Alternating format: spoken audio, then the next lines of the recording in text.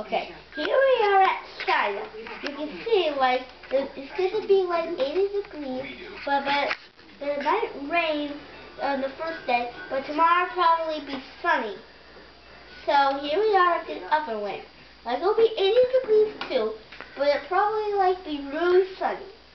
Back, okay, now to the upper land. So, now to South Connecticut. Now to United States of America. So here we are. It's gonna probably be sunny for like a whole week, but the next week is or they will rain on Wednesday of the week.